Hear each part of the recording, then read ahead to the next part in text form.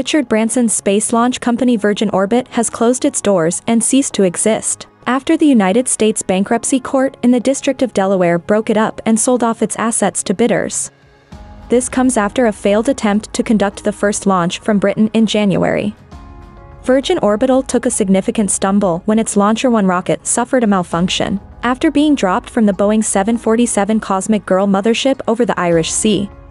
Though the company was notable for its technology, it was on shaky financial ground since its debut in December 2021, with investments never keeping up with expenditures, and a business model that didn't instill confidence in its ability to turn a profit.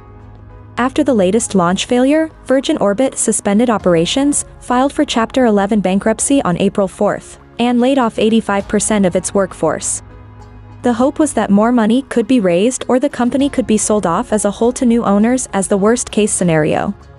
Instead, the court ordered an auction sale of the assets. Four buyers snapped up portions of the company with Rocket Lab spending $16.1 million for the Virgin Orbit headquarters and manufacturing complex in California, Stratolaunch buying Cosmic Girl for $17 million.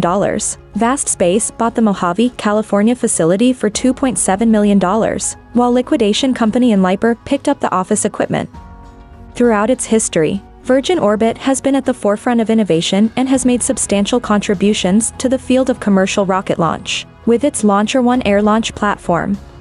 As Virgin Orbit embarks on this path, the management and employees would like to extend their heartfelt gratitude to all stakeholders, including customers, partners, investors, and employees, for their support and dedication over the years.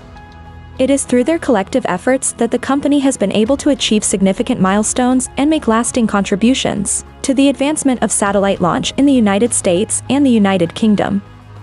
Virgin Orbit's legacy in the space industry will forever be remembered.